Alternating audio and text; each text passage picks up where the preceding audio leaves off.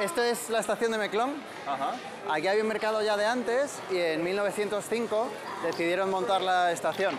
Y en vez de retirar el mercado, decidieron seguir haciendo el mercado, pero alrededor de las vías del tren. ¿Y cómo es eso posible? ¿Cómo, cómo pueden convivir? Pues cada vez que viene el tren tienen que retirar todos los toldos y toda la, toda la comida y luego en cuanto se va el tren lo vuelven a po- a poner todo. ¿Y se puede andar aquí tranquilamente por las vías del tren? Tranquilamente, nadie te molesta, no hay ningún problema. Vas andando por aquí por la vía y luego viene el tren y te tienes que poner en un lado porque si no el tren te arrolla. Fíjate, es que está el mercado literalmente encima de las vías del tren.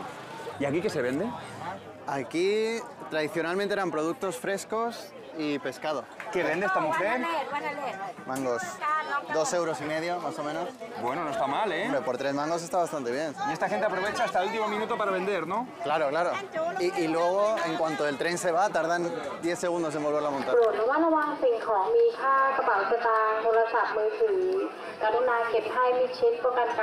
Ah, mira, mira, mira.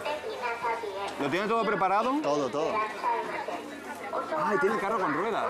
Ay, mira, mira, mira. Incluso el toldo lo recoge.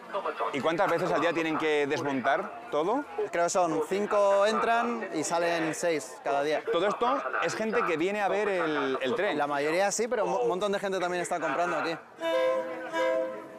La gente que está sacando la cabeza me da un poquito de... A ver, a ver qué pasa. Y la gente se mete dentro de la vía para hacer la foto.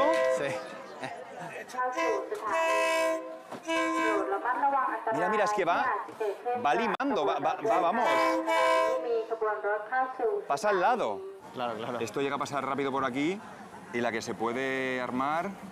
No, sería un drama, todos los días. ¡Yo casos cinco! ¡Qué chica más maja!